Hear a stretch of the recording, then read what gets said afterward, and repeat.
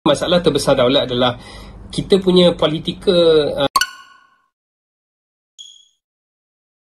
Assalamualaikum dan juga salam sejahtera. Hai, kembali lagi ke Zaf Vlog. So hari ni Zaf nak buat sedikit spoiler talk untuk filem Daulat. Tapi untuk spoiler talk kali ni kita akan buat berbeza sikit sebab kita akan berbincang ke semua soalan-soalan yang you guys bagi di Facebook, di YouTube dan juga di Instagram dan Zaf akan bentangkan ke tuan pengarah sendiri. So kita biarkan tuan pengarah sendiri jawab soalan-soalan korang dan mungkin ada beberapa soalan yang Zaf tak dapat nak cover. Mungkin soalan tu Zaf rasa memang dah terjawab di interview uh, bersama tuan pengarah sendiri iaitu Imran Sheikh pada interview Mulut Puaka sebelum ni korang boleh pergi tengok video tu kat link sini. So ya yeah, jom kita contact tuan pengarah untuk filem Daulat ni sendiri iaitu Imran Sheikh.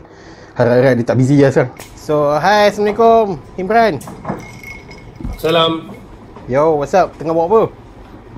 Uh, tengah tengah buat kerja sikit. Oh okay sorry sorry ganggu. Kita nak buat sedikit okay. ni lah. Uh, soal siasat dengan pengarah dia sendiri kan. Soalan yang pertama kita ambil daripada Facebook okay? iaitu daripada okay. Haikal Ashraf Uh, okay. Dia berkenaan dengan logo-logo yang muncul pada fi- permulaan filem tu. Ada satu logo tu iaitu Lacuna Pictures. Dia ada okay. seolah-olah macam color putih. Adakah, adakah ada kaitan dengan jenayah color putih dengan filem daulat genre politik atau ada message tertentu? Just to clarify uh, to the fans lah. Okay, uh, me- memang memang ada message tapi bukan pasal color putih lah. Sebenarnya pasal oh. color putih, putih tu sebab I don't I don't know because apa background gelap so bila color putih sesuai sikit lah. Uh, so okay, so okay message dia um, uh, actually sebab color tu dia datang dari burung kan. Mhm. Yep, dia And then burung. Bu- okay burung tu jadi color. So basically kita orang macam nak uh, try, nak nak cakap kita orang tengok dua benda which is uh, color tu represent business and then burung tu represent uh, seni lah. So basically kita orang try to merge business and seni. So because kadang-kadang or, bila orang fikir pasal seni dia just fikir pasal seni tanpa business. Dan kadang-kadang ah. bila orang fikir uh, so bila orang fikir business dia fikir business tanpa seni. So kita orang cuba untuk jadi dua-dua lah. Apa soalan pertama pun dah deep ni. eh alright, alright, so kita teruskan dengan soalan yeah. yang kedua daripada Tengku Faiz. Uh, kenapa tak ada politician Cina dalam tu? Nampak kurang realistik dengan suasana politik Malaysia. Actually, uh, I I setuju. I bagi I, I rasa memang uh, lebih sesuai ada politi- uh, politician Cina lah. So, I rasa I setuju dengan dia. so, macam uh, I actually setuju dengan dia. Uh, oh, jap. Uh, so so so kalau tanya kenapa, I don't know. Maybe because at the time the uh, the the the writing was a bit limited so kita orang tak sempat nak cram all characters lah tapi oh. dari segi feed, uh, tapi dari segi feedback I setuju dengan dia yang kalau ada politician China lagi realistik lah tapi Betul. cuma kelemahan itu kelemahan kita orang dalam filem ni lah Okay, okay, okay. So, nombor ketiga pula daripada Muhammad Hazim. Adakah plot Nadia pinjam duit dekat Razi tu adalah rancangan suami Suri? Also, plot untuk tutup media raya streaming tu idea dia juga ke macam mana? Uh, yang tu jawapan dia betul. So um, that's why uh, actually dalam daulat ada some things yang kita tak cakap. And then that thing one of it is uh, I mean some of it is satu bila Nadia kena cari duit itu actually mm-hmm. Idrus yang plan. Maksudnya Idrus yeah. buat situation company dia yang Nadia kena cari duit. So mm-hmm. uh, that's why I, I tak tahu whether ada soalan lain lepas ni. Tapi point yang nak cakap adalah scene pertama Idrus dengan Nadia tu memang time tu Idrus dah nak tikam Nadia. Yeah. So uh, so so then, so bila bila hmm. so bila Idrus cakap oh kita kena cari duit uh, what not tu actually lakonan dia lah. I mean literally lakonan Idrus yang kita you kena cari duit and then Idrus tahu yang uh, Nadia susah nak cari duit and then Idrus uh, basically kenalkan dekat Ramzi lah. Okay, maybe something yang kita orang tak tunjuk dalam filem bayangkan ada meeting uh, Idrus dengan Suri, Idrus, uh, Suri cakap okay aku nak jadi Prime Minister. Kita kena cari cara yang menyebabkan uh, Hassan Uh, kita ada something on Hassan. Kita kita ada something on Hassan yang kita boleh blackmail dia. So that something is that something is basically Hassan bunuh Ramzi.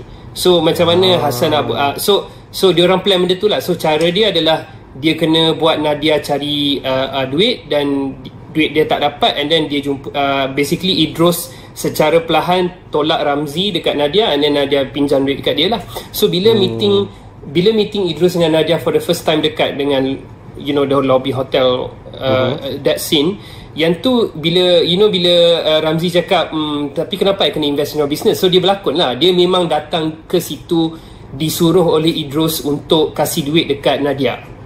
In fact ah. sedition act in fact sedition act apa semua tu semua tu is is a is a fasad je. Is a, is a rules by uh, Idrus menyebabkan Nadia tak ada duit nak bayar Ramzi. So Idrus cuba untuk menyebabkan satu keadaan yang Nadia tak boleh bayar Ramzi. Sebab bila Nadia tak boleh bayar Ramzi Idrus uh, Ramzi boleh uh, uh, press dia boleh push dia time tu Hasan akan datang so yep. tugas Ramzi adalah untuk menyebabkan Hasan bengang tapi apa Ramzi tak tahu adalah Idrus uh, secretly nak Hasan bunuh Ramzi of course yep. Idrus tak cakap uh, of course Idrus tak uh, Of kalau course, aku jadi Ramzi tu aku tak nak kena bunuh kan. yeah, kalau I mean, I mean that's why actually the film is about people backstabbing each other lah. So hmm. apa yang Ramzi tak tahu adalah Idrus nak dia ugut Hasan supaya Hasan bunuh dia. Tapi Ramzi ingat macam member aku minta tolong, aku tolong je lah. Ha, yalah. Kita akan teruskan dengan soalan yang keempat daripada Ali Wahab. Gambar apa yang lebih tu? Tak tunjuk pun. Which is gambar yang masa apa Hasan pada penghujung filem tu dia nak apa dia nak apa uh, apa nama perkataan tu? Nak nak ugut, ugut suri. Lah. suri. Ya. Yeah. Ya, untuk mengundur diri kan. Tapi instead dia yang terpaksa undur diri sebab Suri dah ada video uh, Hasan bunuh okay. Ramzi kan. So ap, lagi apa yang gambar lagi satu tu? Orang nak tahu kan. Uh, okay, uh, jawapan dia I tak boleh beritahu sebab sebab jawapan dia dia dia akan relate dengan uh, sambungan cerita Daulat lah. Okay, I I kena clarify sikit. Ah. Uh, I kena clarify sikit okay, okay. Uh, yang sebagai seorang filmmaker yang baru, I tak uh, tak uh-huh. suka tak suka method storytelling yang tak explain apa yang jadi. I, I tak suka that method. So yeah. by that definition sepatutnya I kena explain lah gambar tu uh, gambar apa. Tapi actually pada pendapat uh, I kita orang explain tapi kita orang explain macam half. And then that half is walau apa pun gambar tu gambar tu tak sekuat video suri. So Basic, ah, uh, so basically sebab dia terdiam kan? Sebab dia terdiam sebab kalau gambar tu lagi strong daripada video suri boleh je dia macam ha nah oh, kau nak tunjuk video aku ada gambar ni. Tapi gambar tu tak strong so that's why bila dia nak keluarkan dia macam no point tak tak boleh keluar because it's not as strong. Tapi benda benda tu actually benda tu actually dia reveal satu kelemahan suri yang kita orang tak boleh cakap oh. lagi. Yang kita orang korang reserve untuk the sequel lah. Ya lebih kurang macam tu lah kalau ada lah insyaAllah InsyaAllah okay. Alright. So okay next kita nak teruskan dengan soalan daripada Ahmad Haziq. Apa maksud tertentu ke Suri dan Datuk Hassan main chess tu? Adakah ada maksud tertentu uh, uh, tapi aku tak dapat tangkap maksud dia? Masa dia orang main chess semua tu. Um, Okay of course um, Chess tu dia uh, I tak tahu whether I dah suka kat you before this. Um, Itu adalah salah satu um, uh, Kita orang punya method of of of uh, telling the story in a way that kita orang suka melebih. Uh, yang tu I memang oh. yang tu memang I tak me, tak meng, tak malu mengaku kita orang suka over the top. I know it's not for everyone. I know some filmmakers dia suka subtle tapi uh, dalam first film ni maybe kita orang ada strategi tertentu untuk buat over the top ataupun macam banyak sangat benda over termasuk dia orang main chess mm-hmm. masa dia orang tengah plan uh, sebenarnya ada je some symbolism tapi benda tu is not important for the film for example masa masa uh, uh, Suri checkmate kan Hassan in the ending of the film uh, kalau okay. kalau you perasan uh, belakang uh, checkmate checkmate move tu adalah uh, Suri letak queen and then dia pergi ke king and then kalau you perasan oh. uh, kalau kalau you perasan belakang queen tu ada bishop and then uh, in the poster in the poster kita orang memang cakap Suri is the queen Hassan is the king uh, and Idrus is the mm-hmm. Idrus is the bishop so basically kita nak cakap ah. simbol dia macam actually Suri ni lah sebenarnya yang nak lawan kau and then dia ditolong oleh husband dia uh, bishop which is uh, Idrus lah but for me wow okay but for me it's ini uh, uh, for me it's like this for me all these symbols and hint is not the core of the story. Maksudnya kalau korang tak faham, kalau korang tak faham benda tu, korang still boleh faham cerita. Tapi kalau korang faham that part, yep. so benda tu kira extra lah. Macam easter egg lah, benda yang yeah. membuatkan fans semua macam, oh my god. kalau orang kalau orang right. kalau orang deaf se, se deep tu lah. okay. Hmm. Betul, betul. Alright, so next kita ada daripada soalan daripada Muhammad Daud ada simpan keinginan tak untuk menang awards dalam mana-mana festival? Oh gitu soalan. uh, to be honest, to be honest tak because I tak rasa kita orang layak pun. I, I mean Oi, humble sangat ni. Eh, tak tak tak. Okay, dia, dia macam ni eh. Um, I don't know whether there's this question. Before kita orang buat filem hmm. ni, kita orang dah tahu apa yang kita orang nak. And then apa yang kita orang nak okay. bukannya uh, critics praise. Uh, as in kita orang bukannya nak menang 10 festival award uh, and then dapat you know like film reviews tinggi okay not to say that kita orang nak dapat reviews teruk tak pun tapi that's not uh-huh. our main goal okay our main goal sebenarnya adalah to get mass market to know about Daulat that's it Yeah. Uh, okay, okay. That's why macam that's why I nak sentuh komen jugalah macam kita orang ada uh, borak yang I, I admit uh, script Daulat is direct. Okay, script daulat is direct hmm. because kita orang nak the mass market senang faham. Okay, I nak clarify kat yep. sini, I tak rasa mass market bodoh. I, I uh, to be Betul. absolutely frank, I tak rasa dia orang bodoh. Tapi dia orang dah familiar dengan certain uh, penceritaan ataupun certain cara of storytelling yang a bit direct. Macam, okay, to be honest, yep. I pun, um, I sebagai audience, I tak suka cerita yang I kena tengok tiga kali baru faham. Okay, it doesn't okay, it doesn't mean that I tak suka cerita yang kena fikir. For for example, in the previous video, I cakap uh, Memento is one of my favourite film, right? Okay, tapi Memento, mm-hmm. the first time I tengok, I dah faham. Cuma kali kedua I tengok, I faham lebih. Kali tiga, I, uh, kali ketiga I tengok, I faham lebih. So, yang tu tak apa. Tapi apa yang I tak nak adalah kali pertama orang tengok, dia orang tak faham. Um, lagi satu, okay, aku pergi. So, like for example kenapa aku cakap per, uh, penceritaan tu dia tak boleh orang susah nak faham? For example I give Memento. Uh, I suka Memento is actually one of my favourite film and it might be my favourite Nolan film. Uh, I mean I'm excited for Tenet Tenet the, the his film this year oh. but I paling suka Memento. And then Memento uh, the first time I tengok I dah faham. Tapi bila kali kedua I tengok I faham lebih. Kali ketiga I tengok I faham lebih Okay, so yep. apa I nak cakap kat sini, it's okay if a film you tengok banyak kali, you faham lebih. Tapi I tak prefer, especially in Malaysia, first time tengok dah tak faham. Because yep, for me, betul. kalau you first time kalau you first time tengok, you dah tak faham, uh, I think that's very bad because it will make people not recommend your film, especially the mass market. Walaupun, True. okay, okay, I faham dalam Malaysia kita ada different category of market yang some people are more knowledgeable in films and some people are not that knowledgeable in films. But as a business, right? You yeah. want to target a group that pays uh, the number of group that will give you the most money. Okay, why? Bukan sebab kita nak jadi orang kaya tamak loba, tapi supaya company tu boleh survive. Kalau company yep. tu boleh survive, dia boleh buat the next film. Okay, I rasa macam Okay, kalau lah Daulat One uh, mass market suka, itu bagi I goal I dah tercapai walaupun I ada goal lain juga. I mean tak nak lah orang bad review so kan dah ada some give bad reviews kan which is of course hmm. I tak cakap of course I, I'm affected as well. But then Nothing I just nak betul kan? Ya, yeah, tapi I nak cakap yang my first goal is the mass tahu about Daulat. Okay, why?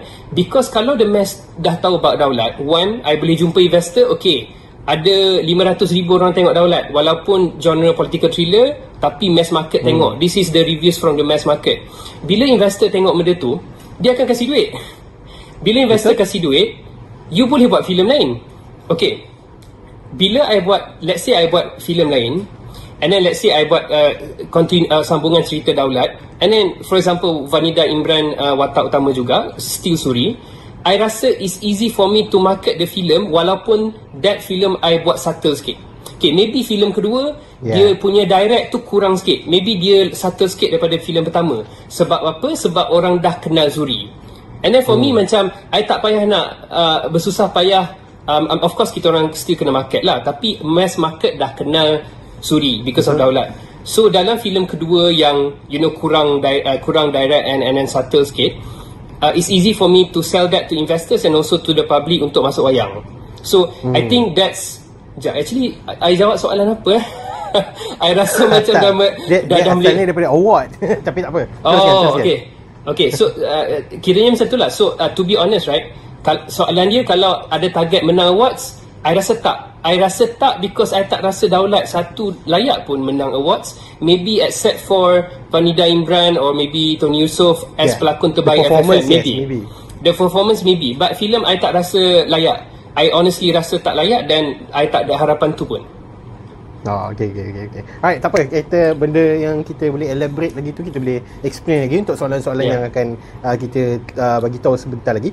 Uh, next adalah soalan daripada uh, Muhammad Syafiq. Kenapa banyak cerita pasal strategi pembangkang je? Tak banyak cerita pasal strategi kerajaan pun? Okay, um, I rasa uh, for one, I mengaku itu adalah kelemahan filem. Yang tu I admit lah. Uh, tapi okay. ta- tapi I rasa sebab macam ni kita orang actually to be honest kita orang tipu dalam marketing uh, kita orang oh, tipu yeah. sebab uh, tipu bukannya apa sebab macam ni the film is actually is not about kerajaan uh, pembangkang lawan kerajaan it's not about that it's about okay. Suri nak jadi PM Oh, so kalau okay. you tengok daripada scene pertama sampai scene terakhir Memanglah Suri cakap Oh mari kita buat ni, mari kita buat tu Tapi the, the film is not about that. The film is aku nak pretend yang aku tolong kau supaya kau percaya aku tapi at the same time aku slow-slow nak plan yang aku jadi prime minister. That's why hmm. tak ada cerita pasal uh, wawasan. Walaupun I rasa actually banyak cerita yang boleh diceritakan pasal wawasan. Tapi Betul. that's not the focus of the story. So I have hmm. to say that. Because because the thing is dengan 500k you nak buat cerita pasal apa? Sebab macam it, it, more stories mean more scenes. More scenes mean more money. Uh, but we don't hmm. have that money. We don't have money to hmm. do like that lah. Yeah. Mungkin in future boleh buat spin off ceritakan tentang Tun Malik ke ataupun Ali maybe kan. Actually actually memang ada plan lah but then oh. uh, memang memang ada plan pun actually tapi that's not the core of Daulat One lah. Hmm. Alright. So next kita nak tanya tentang soalan-soalan teknikal sikit. Osman Dawatan okay. memberikan soalan, uh, Imran Sheikh, you guys punya production guna kamera apa? Edit guna software apa dan coloring guna software apa? Uh, kamera Sony, so bukannya you know apa Red ke apa Lexa ke bukan? Uh, Sony oh. je. Uh, okay. uh, tak, apa, apa lagi kamera kan? Uh, uh, dekat uh, guna software apa dan guna coloring guna software apa? Uh, uh, editing I rasa offline tak silap uh, uh, Premiere Pro. And then hmm. tapi uh, online kita pakai DaVinci tak silap. Uh, and colouring uh, DaVinci juga. Oh okay. Alright hmm. next daripada Syam Kaiser siapa karakter Masuri binti Muhammad ni? Sebab nama dia tu memang agak uh, macam kontroversi sikit lah. Bila dia pada penghujung filem tu dia reveal nama dia Masuri binti Muhammad. So uh, kau boleh nak kongsi dengan penonton semua apa yang di sebalik nama Masuri binti Muhammad ni? I, uh, aku rasa susah nak jawab soalan tu tapi aku cubalah.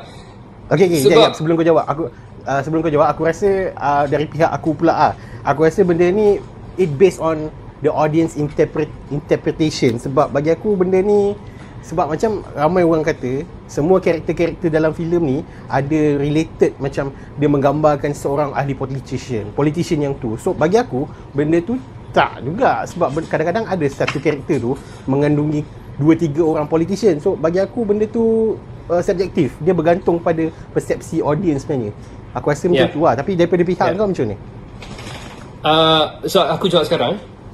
Hmm, boleh boleh.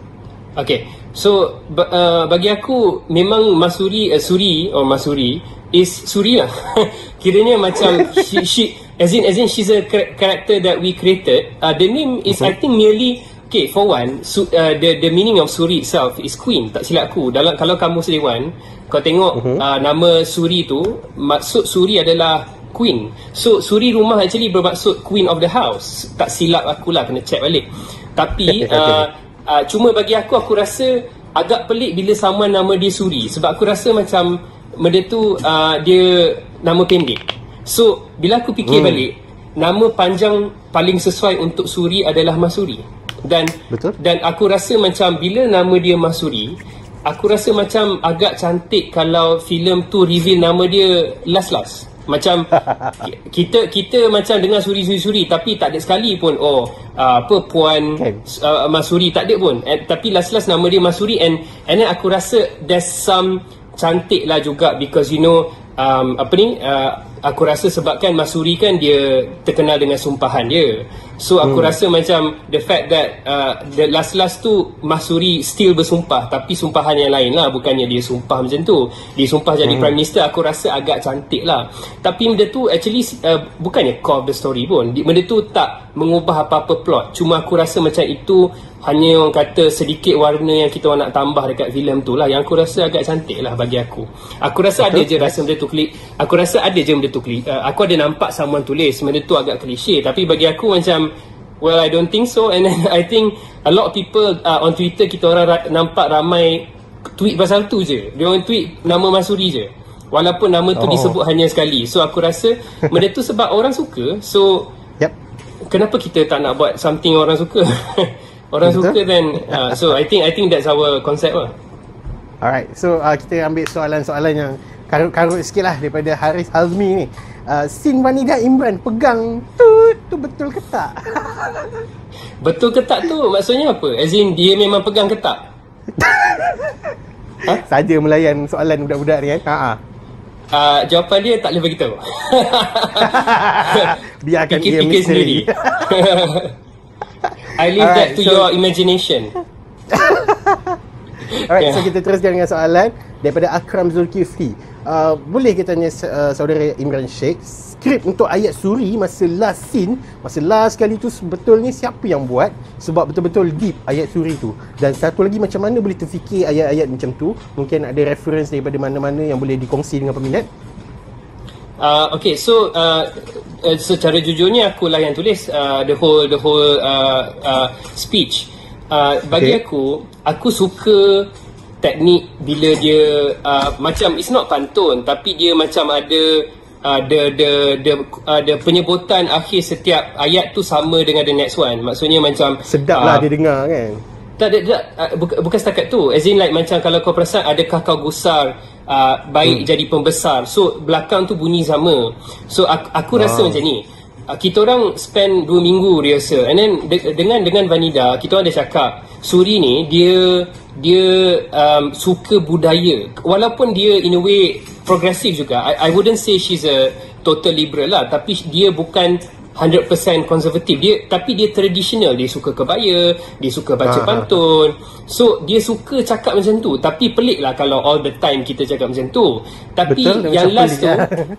okay. tapi yang last tu dia macam speech dia. And then that is the first time yang dia cakap dengan uh, audience so aku su- aku suka kalau it, I think filem ni dia banyak tentang feelings dan emotion dan aku rasa sebagai penulis aku rasa memang is very suri for her to do that in my opinion lah as as hmm. someone who wrote the character yeah so inspiration okay. hmm. um inspiration tak ada sangat cuma uh, uh, of course breaking the fourth wall is something very uh, common in House of Cards in in uh, hmm. Shakespeare punya play uh, macam Macbeth memang memang break the fourth wall is common uh, cuma hmm. um uh, apa ni cuma uh, uh, yang Suri tu pantun tu berdasarkan karakter dia lah.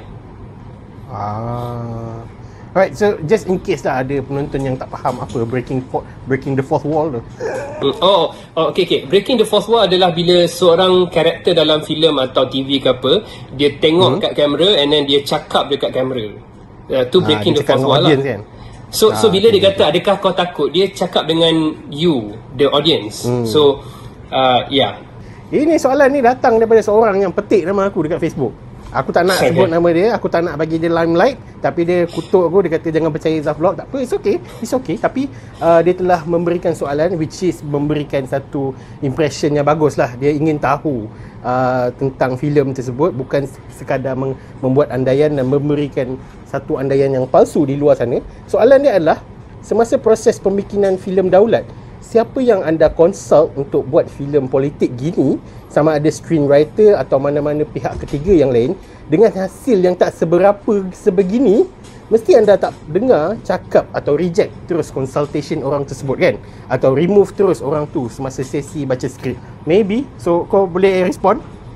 Okay, so bila dia kata uh, tak seberapa, aku actually agree lah sebab I mean, it's, it's not it, skrip daulat banyak flaw kita orang memang hmm. dah tahu pada awal lagi uh, tapi untuk menjawab soalan dia uh, kita orang okay I akan cakap dan dia akan terkejut tapi I kena cakap slow-slow dulu the person yang okay. kita orang consult uh, during the first script reading adalah Dain Said dan uh, Afi Palemo so uh, Afi Palemo dia penulis uh, salah satu penulis oh. Astro Afi Palemo uh, dan, Afi Palemo dan Dain Said okay tapi oh. I kena explain sikit tapi I kena explain okay. sikit diorang tak iktiraf skrip daulat. Okay I, I tak tahu diorang suka ke tak lah. Tapi diorang hmm. bukannya oh kami approve. So walaupun I cakap nama diorang I bukannya nak cakap diorang approve. Tetapi diorang ada kasih komen.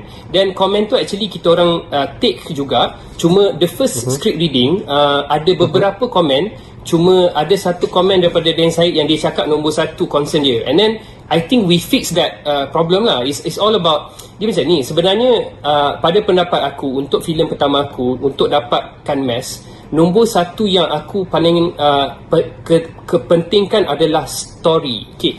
Hmm. I'm not talking about method of storytelling. I'm talking about story kisah ni pasal apa? Cara kita orang cakap kisah tu is a different story. Which is aku faham uh, ramai tak suka uh, uh, some people tak suka uh, cara tu. Tapi uh-huh. the mhm. story is about Suri nak jadi prime minister. The story is about that. So uh, aku rasa kita orang memang take note komen dan saya okay tapi dia aku mengaku kan kan ada certain uh, kritik filem cakap the the film is a bit uh, direct. Dia orang dia cakap macam hmm. sama. Okey So adakah kita orang tak dengar? Tak juga. Uh, kita orang dengar tapi um, aku rasa macam it's more about uh, the difference of opinion because macam aku cakap uh, bila aku baca feedback Twitter uh, yang cakap pasal uh, show and tell apa semua kan uh, mm. actually we are, we are aware of that lah uh, cuma ada certain scene yang aku tahu kalau kita orang tak tell aku mm. rasa mass audience tak faham yeah. bukan sebab kita orang rasa dia orang bodoh. Aku clarify banyak kali eh.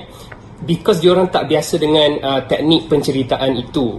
Okey kalau ada yang cakap lepas tu sampai bila kan? Takkan lagi 30 tahun kita nak buat cara sama? Tak. Tapi kenalah ada stepping stone kenalah ada permulaan. Okey aku tak setuju kalaulah daulat ada 10 filem contoh eh. 10-10 sama. Hmm. tak. Daulat satu adalah matematik tingkatan satu oh Lepas tu Okay Okay Daulat dua adalah matematik tingkatan dua dan daulat yeah. tiga adalah matematik tingkatan tiga. Aku tak boleh buat filem pertama pasal aku letak inilah calculus uh, Oxford University. Lepas tu bila Malaysia dia tengok macam what the hell is this? Okay. Okay. Tapi tapi aku nak cakap eh itu hmm. adalah choice of method of storytelling. Aku tak cakap Betul. salah buat macam tu. Macam aku cakap filem uh, sebelum ni, filem uh, kegemaran aku adalah kill dan bunuhan. Bunuhan macam tu. I, I mean like for example even Key pun dia method storytelling is like that. Aku suka tulisan Reza Minhad dan aku suka tulisan Dan Said. Tapi kita hmm. ada style lain. Faham tak? Betul. Macam aku respect gila Dan Zaid aku respect gila Reza Minha even Imaginal his new uh, writing aku tak sabar nak tengok. But it doesn't mm-hmm. mean I will copy 100% what he does. Because Betul? he he does his way I do my way. Dain does his way. Of course aku punya level tak sama dengan Dain dengan Reza. But my point is I'm trying to do my way. And the reason why I'm trying to do my way is because I want to get the mass market. Some filmmaker dia tak nak mass market. That's okay I'm not saying it's wrong, but my point is I want to get mass market. I want huh? to I want to get mass market without doing a KL uh, a rempit story.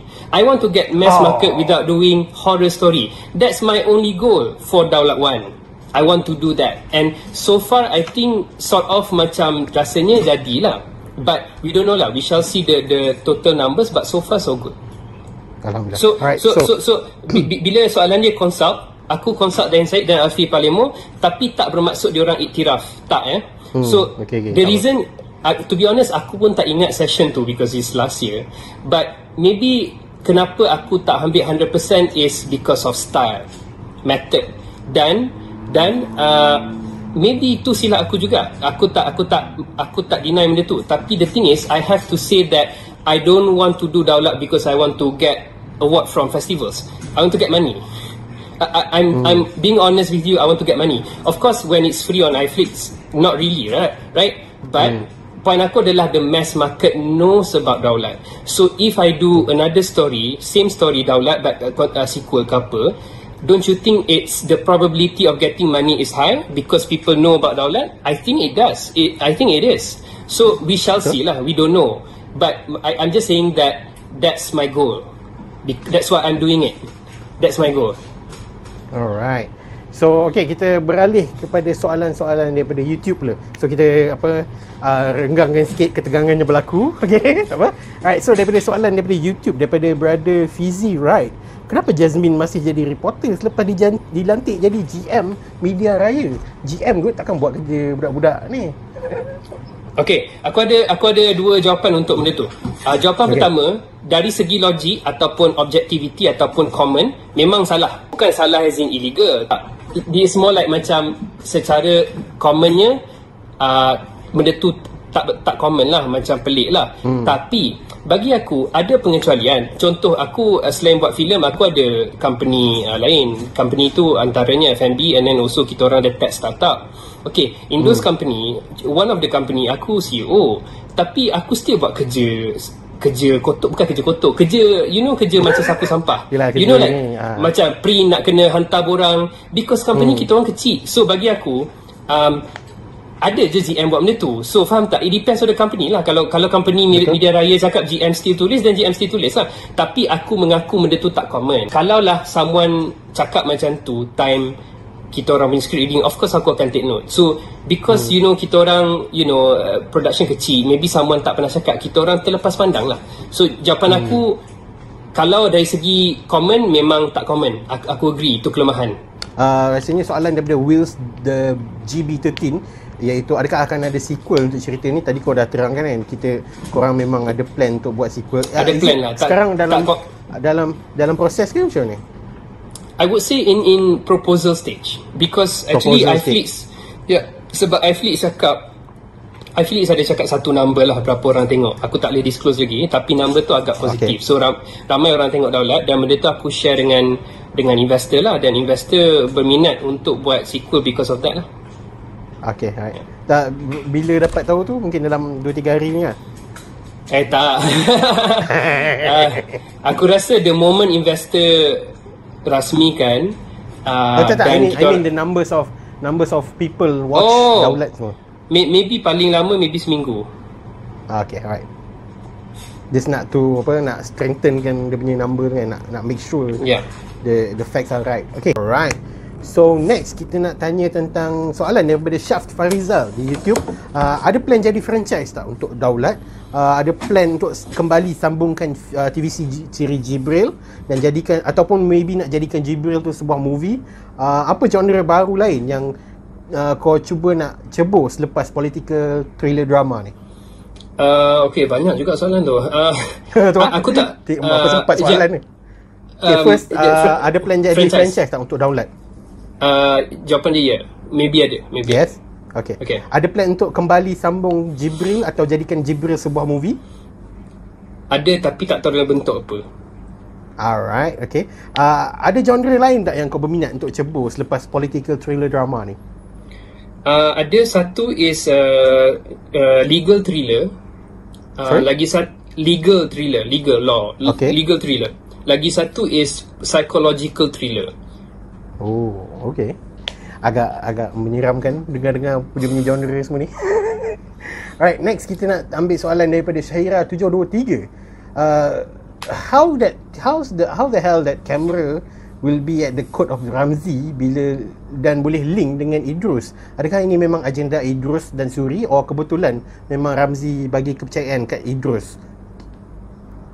Um, okay, so basically Ramzi ni adalah dia dia macam ni dia dia macam kalau aku nak simplify dia adalah alung yang smart dia alung okay. tapi alung yang sophisticated yang you know dia nampak macam investor tapi dia sebenarnya alung lah tapi dia dia bukan hmm. alung yang macam alung-alung dia alung macam corporate hmm, bukan corporate one ya. so that, that that is one of the way that Idrus buat duit lah so salah satu cara hmm. Idrus buat duit adalah benda tu dan uh, benda tu adalah sebab um, memang Idrus plan yang dia punya uh, dekat dia punya badan akan ada kamera every time because dia macam ni uh, memang agak common macam Suri cakap dia masa dia blackmail Hasan kan dia ada cakap yang selalu orang pinjam duit dia orang tak bayar sebab dia orang kata mana ada aku pinjam? So oh. it's important it is very important for us to not for us for for them to record setiap perbualan sebab benda tu boleh bawa masuk court. Tak silap aku lah. I mean I,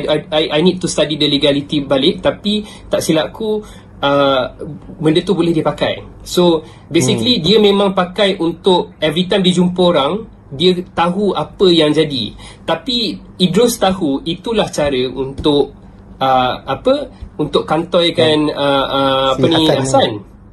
Hmm. That's that's how dia orang nak kantoikan Hasan. Of course Ramzi tak tahu. Oh, tak, kali ni aku kena pakai kamera sebab nanti kalau Hasan tembak aku dapat. Dia tak tahu dia tu.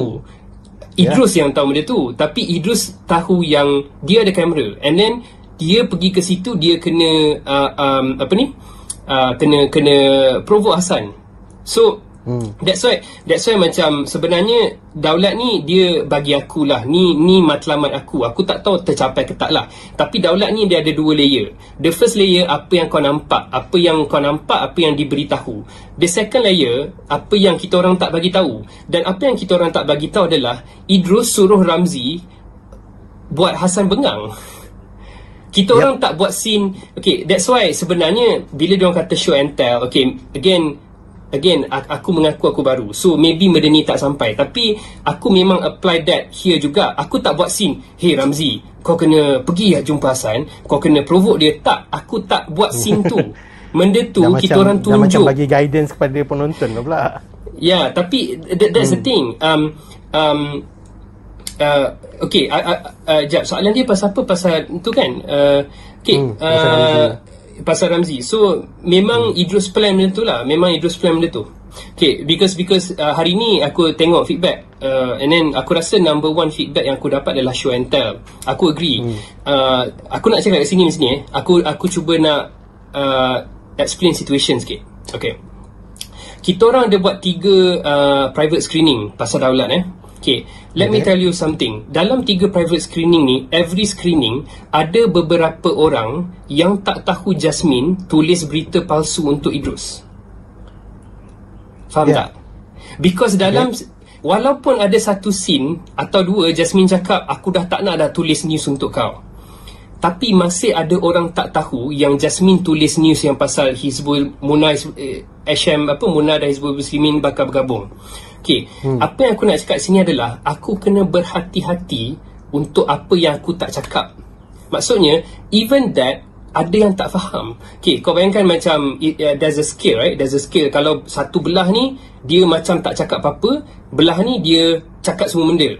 So, hmm. it's not about ya atau tak. It's about kau show 50% or 40% or 45% or 35% or or 80% or 70%, faham tak? Point aku hmm. adalah kita orang cuba nak balancekan gila show and tell ni sebab bila kita orang buat test screening okay aku nak kena admit aku tak rasa aku ni filmmaker aku rasa aku ni usahawan uh, as in aku rasa aku ni entrepreneur as a businessman lah so hmm. aku kena masukkan elemen business dalam ni because aku nak buat duit faham hmm. aku nak buat duit supaya aku dapat duit balik supaya aku boleh buat filem lain aku tak hmm. boleh buat filem yang tak dapat duit and then aku uh, complain kenapa investor tak boleh kasih duit that's just unrealistic. Hmm. faham tak?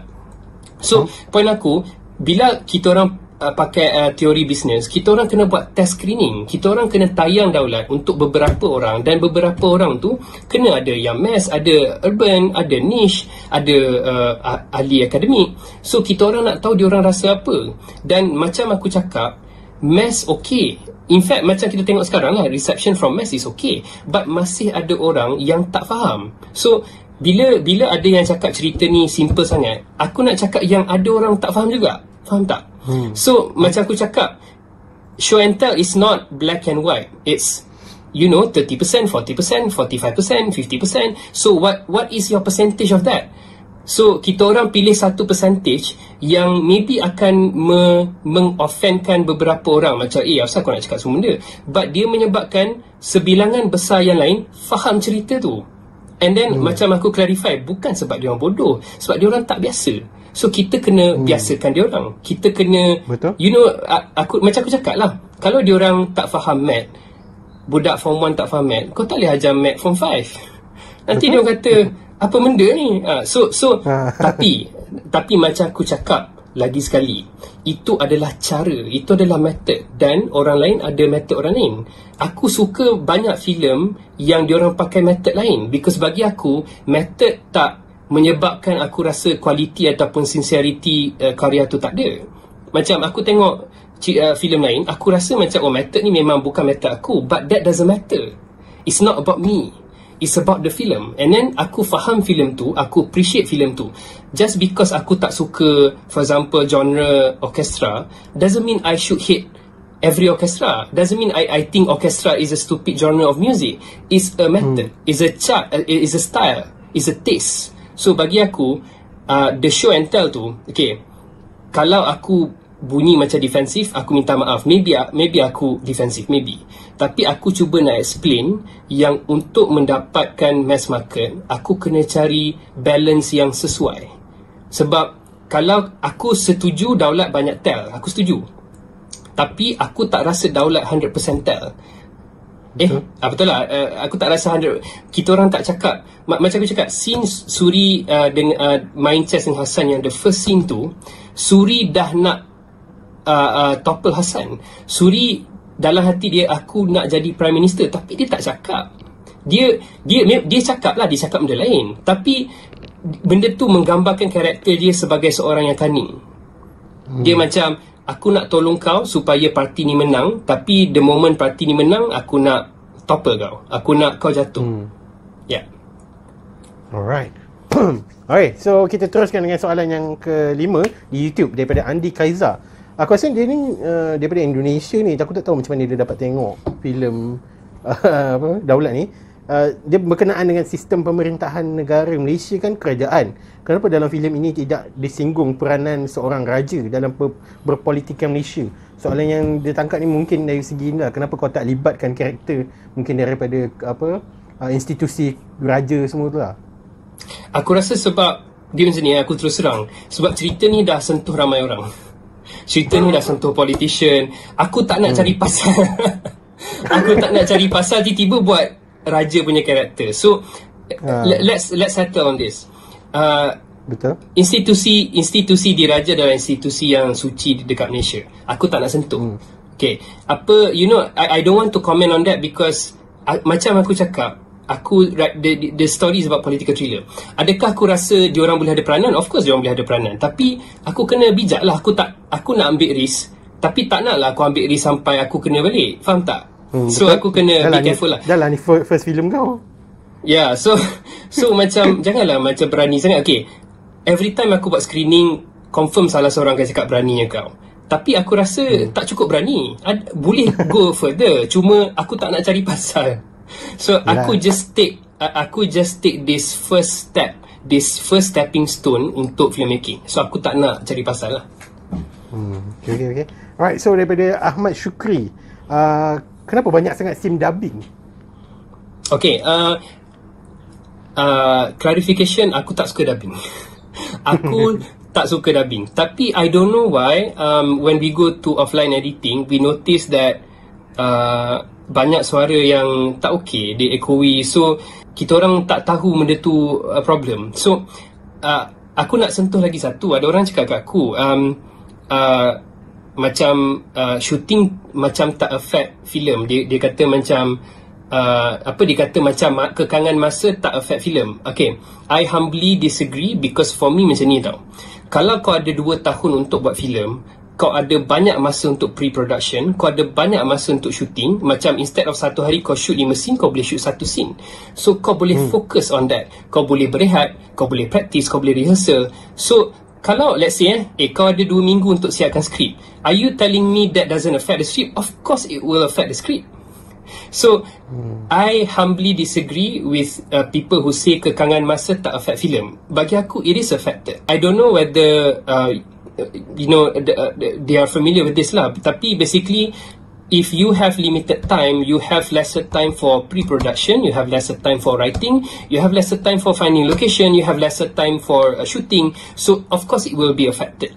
But mm. okay, Aku juga humbly disagree Jangan buat selagi sempurna Because memang tak akan sempurna Kalau aku nak tunggu Sampai sempurna Aku akan tunggu 50 tahun I don't have that time Daulat bukan filem yang sempurna lah So dia ada banyak flaws hmm. Tapi Tapi Aku tak rasa Daulat sampah Betul, memang itu, itu masalah dia.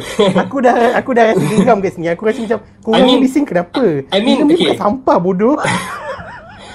I mean, if you don't differentiate, okay macam ni eh, Daulat banyak kelemahan. Aku setuju seratus kali. Tapi, I think I think I have enough brain cells to know that it's not a film sampah. I don't Betul. think so. You can try to convince me, I don't think so. I I did do some unconventional thing. City producer banyak kali debate dengan aku. Macam aku cakap lah even Dain Said pun tegur aku. Macam you sure nak buat macam ni? Okay memang uh, Alfie tanya kenapa nak buat macam ni? Tapi I don't think it's sampah. It's flawed. It's flawed totally agree. Tapi it's not sampah. I, I, aku pun tak nak lah imo-imo Aku pun manusia hmm. biasa. Of course aku terasa lah. Aku tak aku tak nak cakap Oh aku tak terasa. Of course lah aku terasa. Aku manusia kot.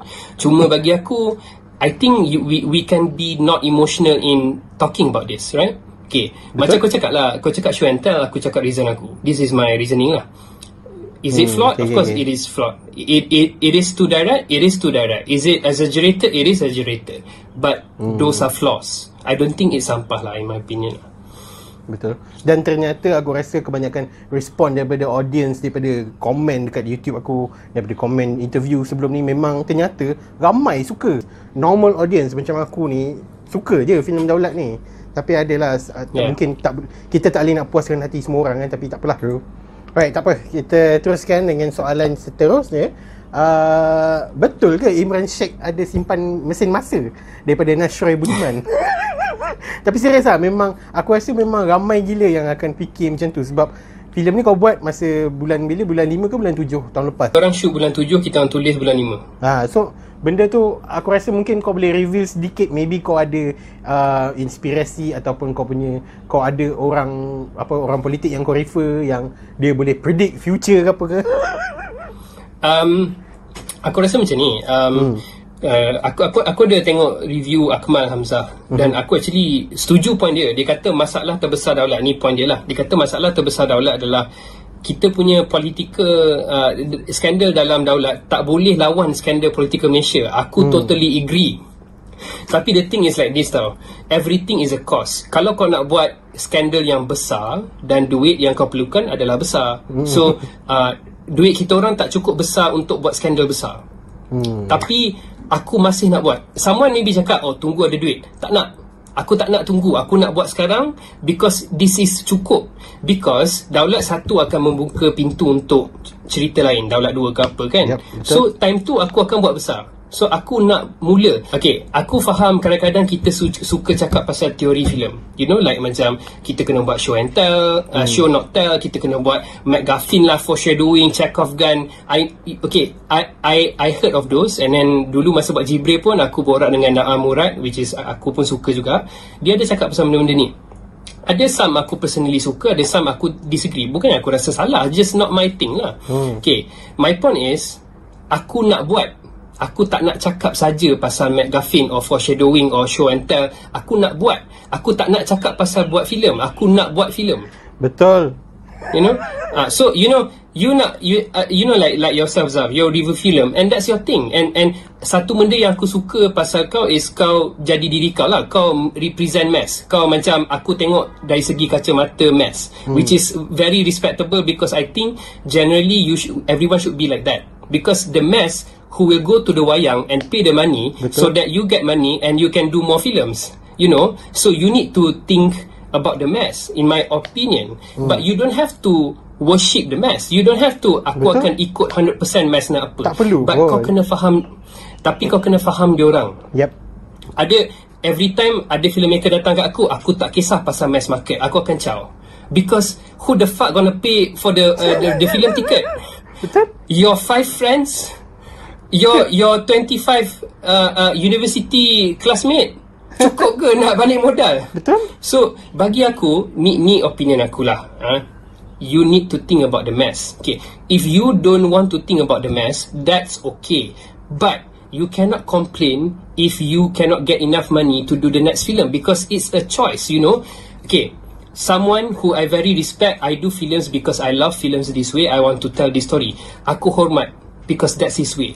But aku punya style, aku nak buat film because aku okay, aku nak buat film pun because aku nak. Tapi the thing is bagi aku, aku tengah buat benda practical and that benda practical adalah you need to get the numbers you need to get the mass audience to like the film and then you can show the numbers to the investors and the investors will put in more money you can you can do more films that's Betul. how investors work you cannot go to investors hey i want to do a film uh, uh, but the audience don't watch my film because they're stupid Betul. i cannot i don't want to be that person i want to be a person where i would i do films i want to get the mass audience to to to like it and then I want to do uh, get, do more more films lah so bila orang tu dah uh, kenal bukan dah kenal dah dah familiar dengan the style and also the the story. Then aku boleh buat filem tu berseni sikit hmm. after aku dah get the mass market.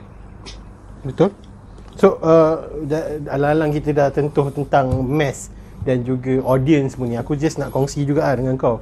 Uh, daripada perspektif aku sebagai seorang movie reviewer dekat YouTube semua ni aku daripada dulu lagi memang nak buat uh, contoh lah kontes benda-benda yang collaborate dengan distributor luar negara semua ni kan tapi masa-masa aku awal awal dulu mana ada orang pandang aku mana ada orang nak tengok aku kan so in the, in the same way aku kena dapatkan audience dulu baru aku boleh dapatkan barang-barang untuk aku giveaway kepada uh, apa subscriber aku. So benda macam tu lah. Kau kena play it slow. Kita mana boleh terus buat YouTube tiba-tiba okay buat giveaway yeah. banyak-banyak daripada collabor- yeah. collaboration dengan studio besar-besar semua. Mana boleh dia orang tak pandang benda tu. Kita kena ada numbers dulu baru pelan-pelan kita naik atas yeah. sikit pelan-pelan naik and then baru sekarang ni baru kita boleh buat benda yang kita nak. Okay. So benda macam tu lah aku saja nak kongsi hmm. lah. yeah, yeah. And, and, and, no, no. It's actually totally true. Aku rasa that's exactly what Bruno Mars did. Okay. Hmm. Aku bukan Bruno Mars. Daulat bukan Bruno Mars. Aku nak bagi contoh. Sebab nanti ada kata, oh nanti kau Bruno Mars. Tak. Aku nak bagi contoh. Okay, okay, okay. Sebab orang kan suka cakap. Okay.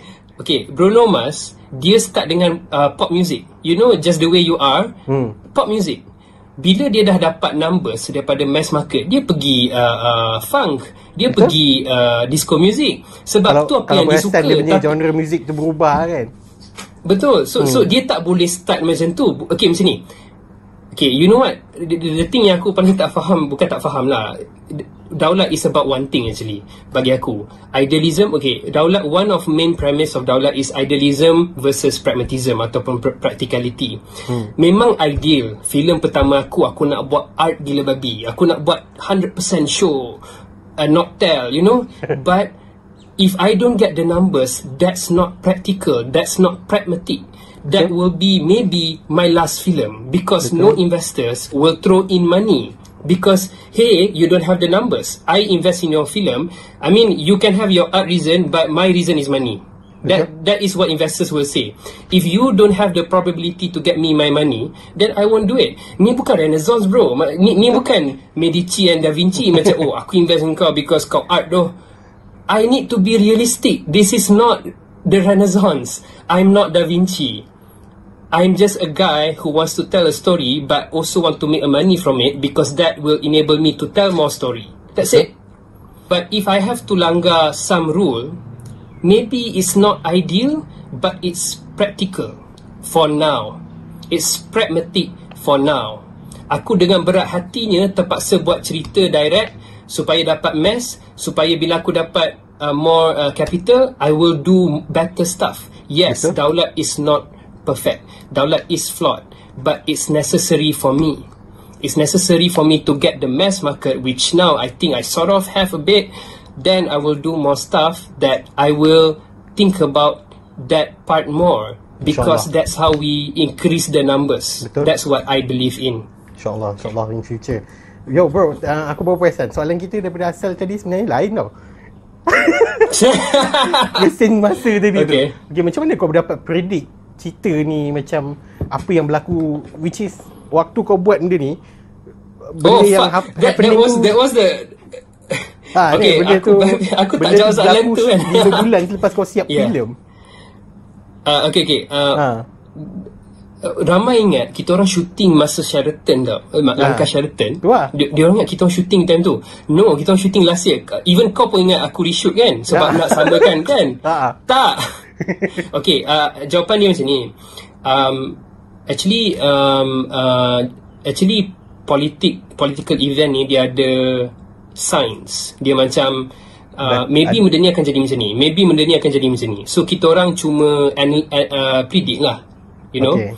And and I know for a fact that we say that it's not really Malaysian politics, but of course we're inspired. I did say that we are inspired by Malaysian politics, but cuma aku tak nak tentukan this will happen. Hmm. PRU 15 tak jadi lagi kat Malaysia. Langkah Sheraton tak melibatkan PRU pun. So it's Betul, not betul, like 100% the same ke apa. Cuma point aku adalah the inspiration. So aku tak ada mesin masa sebab kalau aku ada aku tak buat filem, aku tengok aku beli saham aku invest in public company why would I do this I mean kan hmm. kan okay maybe still buat filem lah tapi aku akan terus beli saham lah kalau aku ada mesin masa kan Buat apa Ya. payah-payah nak tengok politik Malaysia ni tu. ha, buat, buat, buat, uh, pak, buat apa pakai duit sendiri buat filem apa kan kan. Alright, so next soalan daripada Okay, ni adalah salah satu soalan yang aku selalu selalu dapat. Uh, soalan ni daripada Awang Channel.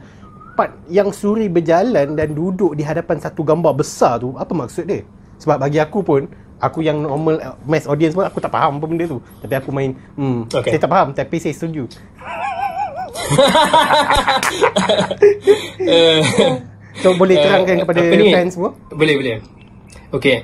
Uh, sebenarnya Suri ni dia suka cara realism in politics. Okay. Mhm. Some people akan cakap ria politik. Kalau kau tengok Twitter orang orang sembang lah pasal ria politik. Mhm. I- I'm just saying she loves realism in politics. So some people call it ria politik. Dia seorang yang ber apa berpaksi pada bumi yang nyata. Is it? Is that right? Hmm. Aku Maksudnya dia tengok reality. Ma- Dia tengok reality. So okay. orang yang suka realism ni, dia macam dia akan tengok reality. Contoh macam aku nak buat filem kan. Aku tak boleh cakap I want to do a first film, I want to do this weird genre and then bajet aku 10 juta. Itu tak realistik. Tak Okay. So Suri so, ah so Suri seorang yang realistik. So dia macam uh, kalau nak buat something kau kena buat something else yang patutnya. Dia macam ni lah.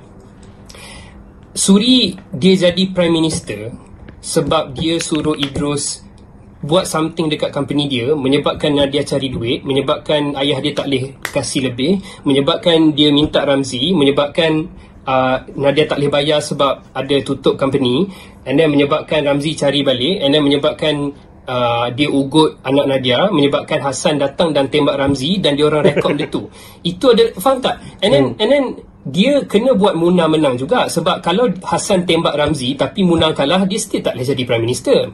So dia kena buat banyak benda. Dia bukan orang yang duduk kat situ and then hmm, aku sepatutnya jadi prime minister tapi tengok lah macam ni. Ha, dia Oh. bukan macam tu. Dia kena buat something. Dia bukan macam Ali. Eh, Dia bukan macam dia aduh.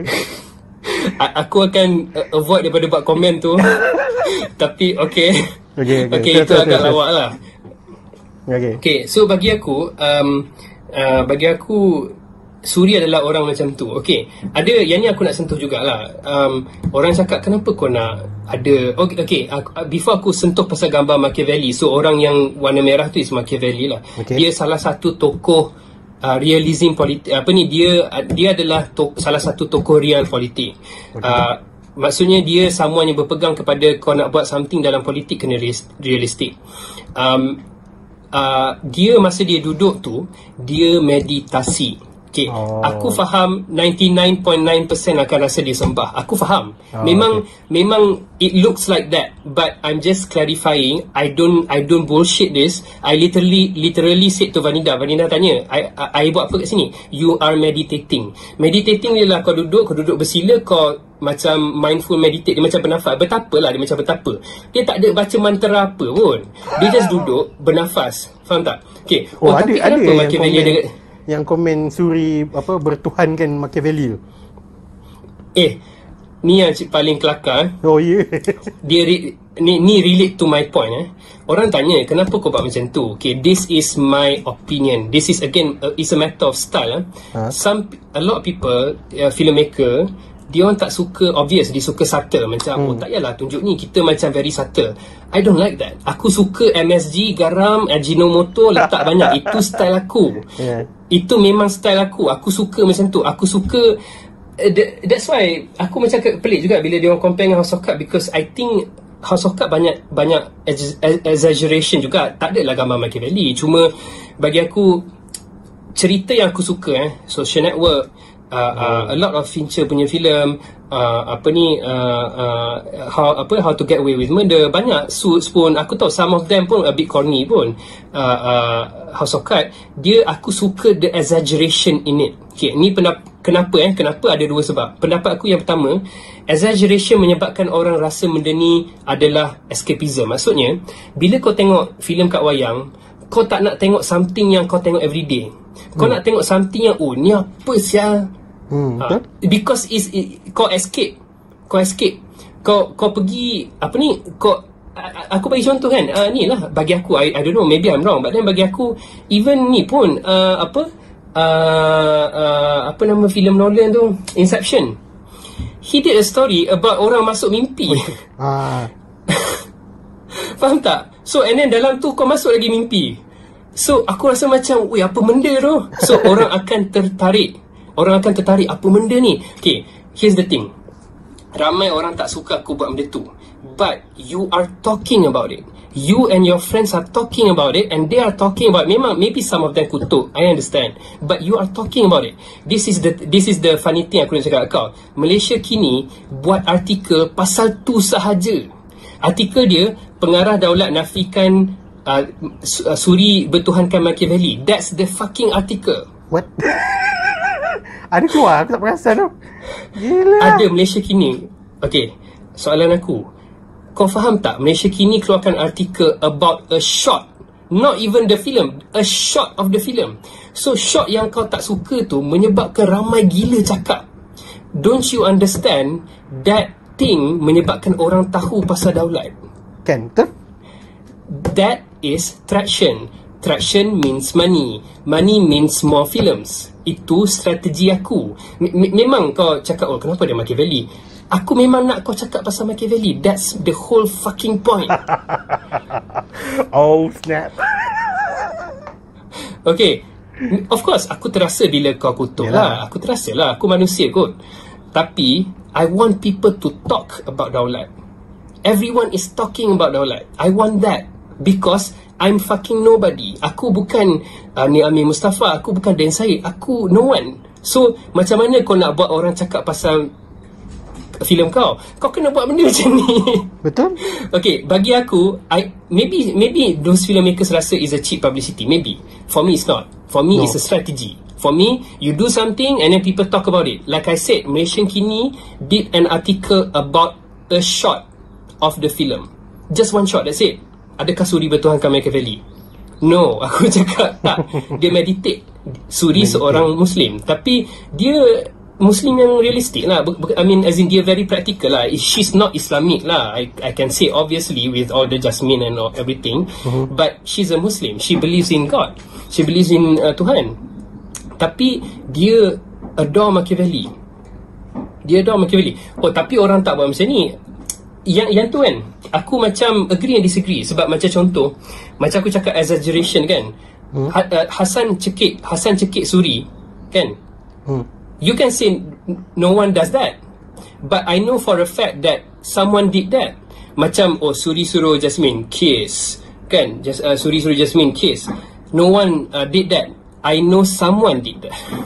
Oh, I know someone I know someone jumpa husband dia punya mistress and ask the mistress to kiss her fucking hands. I know someone did that. Okay, you don't know that person. A lot okay. of people don't know that person. I'm telling you, there's such person. And there's a lot more sick thing is happening in this world that we don't know about. I'm telling you. I'm telling you a story about these people. So that's my goal. If you rasa tak realistic, I I think it's okay for me macam ni. Ini had aku Aku tak nak jadi illogical Aku tak ada buat suri masuk Tiba-tiba dia terbang dalam bilik tidur Tak kira lah You know Aku buat something yang uh, Exaggerated Tapi aku rasa, aku rasa because I know it happened to someone, is logical. It's not illogical. It's just uncommon. It's just tak biasa orang buat. So, uh, kita akan teruskan dengan soalan daripada Instagram pula. Oh, banyak soalan ni. Right, so yang pertama, ah ni soalan yang aku pun agak keliru juga ah. Bila kau letakkan dekat iFlix kan, ada ke untung tayang dekat iFlix macam ni? Kenapa tak tunggu powergam? Dan okay, berapa kos semua tu dah tahu dah RM500,000. Dan macam mana dapat hmm. untung kalau tayang di iFlix? So soalan ni daripada BBNS4298, kau boleh jawab? Um, boleh. Uh, nama dia agak menarik eh. uh, apa ni? Um, Uh, kita orang dapat untung mengikut um, uh, iklan lah. So bila di iklan uh, hmm. iFlix akan dapat duit Kita orang akan dapat sikit Tapi aku cakap terus terang something eh Kita orang tak dapat modal lagi Okay, aku rasa aku someone yang uh, ada dua personality. I, I don't know whether aku tak check doktor pun tapi aku rasa sebahagian aku aku macam is okay because um, business wise you know we have numbers. But deep down Zaf aku masih manusia. Kalau kau kutuk, of course aku terasa Tapi aku tak ada hak untuk suruh kau diam. Betul. Aku tak boleh pergi jumpa kau. Hey, aku tak nak jadi macam Aku nak saman Aku nak report polis. Aku tak nak jadi macam tu. Tapi I think like macam I think you need to be fair lah. Yeah, I don't think, fair. again like I say I I like I say I don't think Daulat is sampah. I don't think Daulat is sampah. I don't think Vanida Imran, Tony Yusof, all these actors will agree and then still promote the film Sanggita promote the film this morning. I don't think they will do that if this is sampah. Because kalau aku actor aku macam oh, I don't know. Aku macam bye bye lah. Because Betul? you know sampah kan buat apa aku. Tapi dia orang still promote because we all know it's not sampah. It's flawed. It's not the best film in Malaysia obviously. Tapi uh, uh, you know to end to end this part I, I aku dah lupa soalan apa pun. I still take note of I, I still take note of the criticism. There are very fair criticism out there yang aku take note. Aku I do take note of that. I I actually show and tell tu aku agree. Cuma it's not a matter of black and white. It's it's a spectrum. Is it is it 40%? Is it 45? Is it 45.7%? And aku paling suka kritikan um, Akmal Hamzah aku suka dia punya video sebab aku even after tengok video Hamzah Akmal Hamzah punya ni aku personally text dia aku cakap aku suka kau punya feedback because dia cakap pasal product uh, production apa ni? Sorry set location. Aku tak suka set download. Okay maybe scene sepeta, uh, scene scene uh, chess aku suka. Uh, aku tapi half of download punya set aku macam kenapa buat kat sini? Tapi what to do bro If yeah. I want to wait, aku nak tunggu set aku nak 10 over 10. Aku tunggu 20 tahun lah. Kalau jadi ya.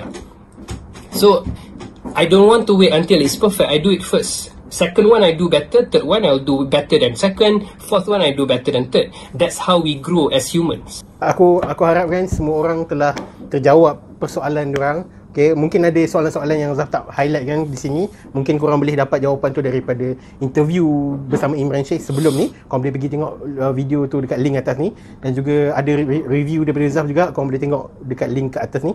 Okay, so uh, jutaan terima kasih pada Imran Sheikh sebab sudi di Temu Ramah punya lama ni lebih sejam lebih dah ni. Dah sejam setengah kena soal siasat untuk filem Daulat ni. So thank you very much bro.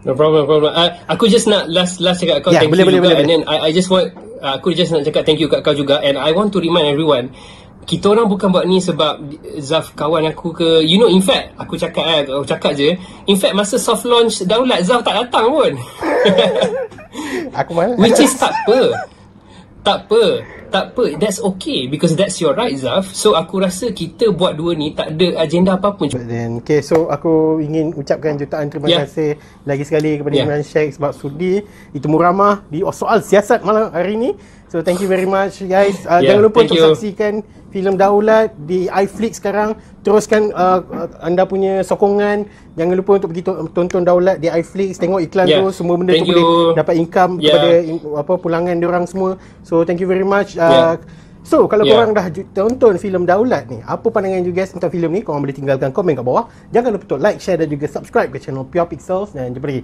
pada Zaf Vlog akan datang. Thank you. Bye-bye. Alright, thank you bro. Thank you, Zaf.